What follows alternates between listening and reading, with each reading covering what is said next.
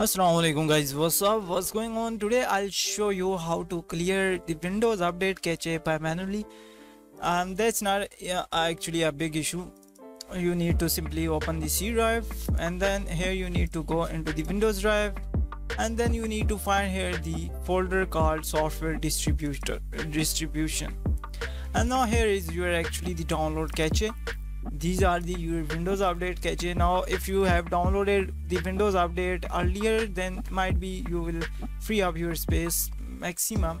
But in my case i did not download anything so i'm not getting any uh, free space from this right now but this is the way you can just simply clear your windows update. And the second method is you can also clear windows update from settings.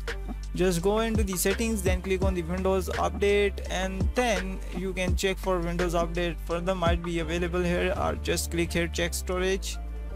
And now you will see here the windows update cache and temporary files etc just click on show more categories.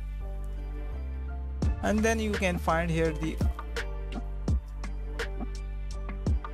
all the storage here.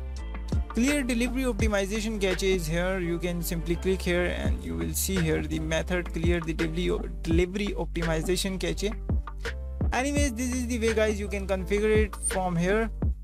Now if you want to delete it before 14 days or one days or every day it's on you. If you want to do that on every day clearing the free space then click here the one and delete files in my download folders if they have not been opened for more than now select it 14 and just click on the clear now.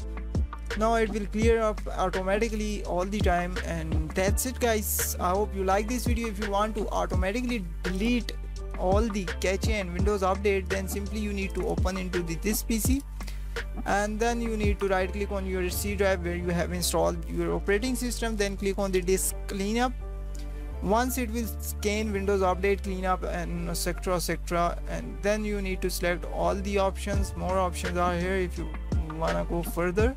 The duplicate and shadow copies etc but uh, we are going here with the windows update etc so just select all these options and then click on ok delete and that's it. Now it will deleting all the cache related to your games your directx cache etc and your windows temporary file and that's it guys. This is the simple process to clean up your windows update and computer cache. See you in the next video. Till then just take yourself. And yeah if you have any question if you are facing any encounter software error or anything then just comment below. I will make tutorial on it as soon as possible. Till then just take yourself. Allah hafiz. Bye bye